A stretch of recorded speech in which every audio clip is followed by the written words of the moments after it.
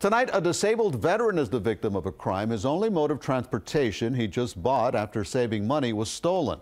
But as CBS 4 Cynthia Demos reports, he stays positive and optimistic despite falling on hard times.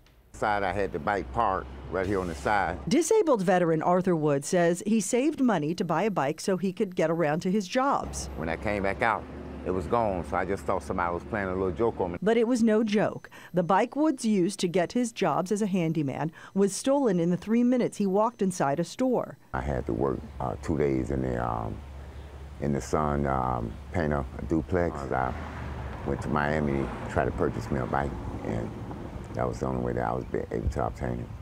Woods has fallen on hard times. When the recession hit, he said his work pretty much stopped. He couldn't afford his house. It ended up in foreclosure. He lost his home, but he never lost hope. I just ended up uh, having to go to the um, Camillus House in Miami to the shelter so that I can probably um, try and get things back together and get my life back in order. He worked hard to buy presentable clothes to get more jobs, then worked hard to get a bike to bike to the jobs up to 10 miles away.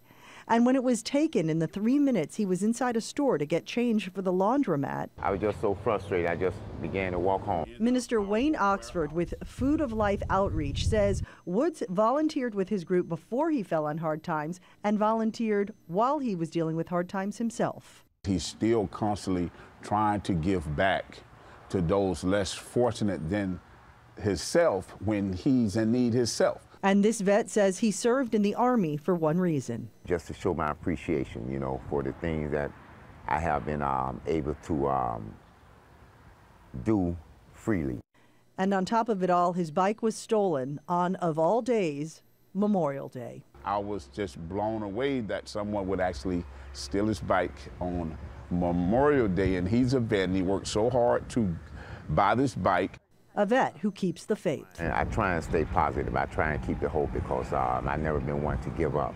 And CBS 4's Neighbors for Neighbors is trying to help out in this situation. If you would like to contribute anything to help this disabled vet get another bike, you can do so by going to neighborsforneighbors.org. In Homestead, I'm Cynthia Demos, CBS 4 News.